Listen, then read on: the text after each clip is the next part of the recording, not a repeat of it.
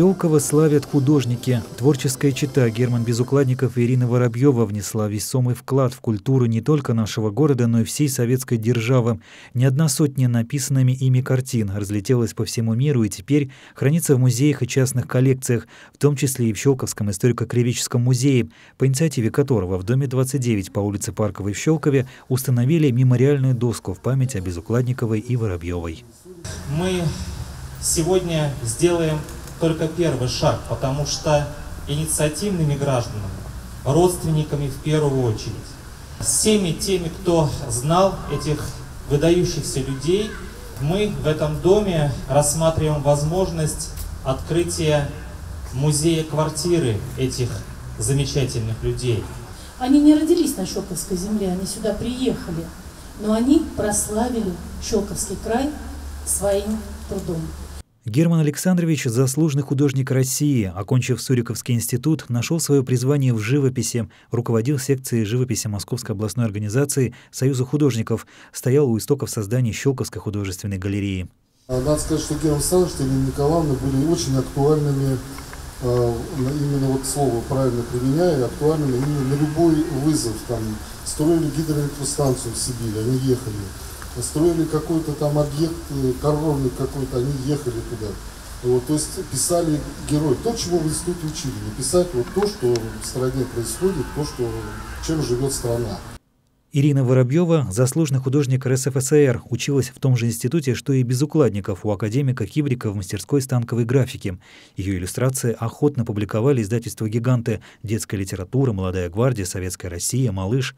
Автор уникальной системы многослойной печати с одной доски в технике цветной гравюры на картоне.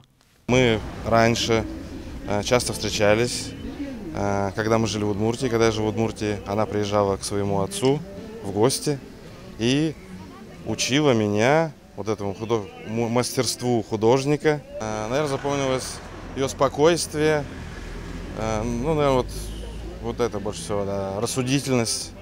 Человек очень мужественный, человек очень целеустремленный. Она так старшая была в нашей семье, и поэтому, ну, мы всегда равнялись. Она на папу, а мы на папу и на нее. Мы часто достаточно приезжали с детьми Спасибо. сюда. Вот. И всегда это был было очень интересно. У Ирины всегда была художественная программа какая-то. То есть показ каких-то путешествий, рассказ об этих путешествиях. Ну и встречи с друзьями, с ее друзьями. В дом 29 по улице Парковой Герман Безукладников и Ирина Воробьева переехали через 8 лет после окончания Суриковского института. Новая квартира на четвертом этаже с горячим водоснабжением. Радости молодых не было пределом. После кончины Ирины Николаевны Герман Александрович прожил в этом доме до 1999 года. О новой квартире в Щелкове Безукладников тут же написал маме в письме. Оно письмо сохранилось, это, в котором он пишет моей бабушке, своей маме, что ой, такое счастье, мы получили трехкомнатную квартиру. И он даже на, э, на листочке отдельном нарисовал этот план. Три комнаты, вот здесь ванная, представляете, горячая вода. И бабушка с дедушкой мои были безумно горды. Мастерская Германа Безукладникова располагалась в доме 16 по улице Комарова, где для него по спецпроекту надстроили помещением. Здесь художник рисовал до преклонных лет.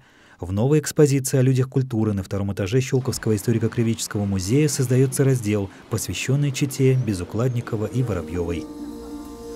Михаил Налетов, Сергей Василевский, Щелковское телевидение.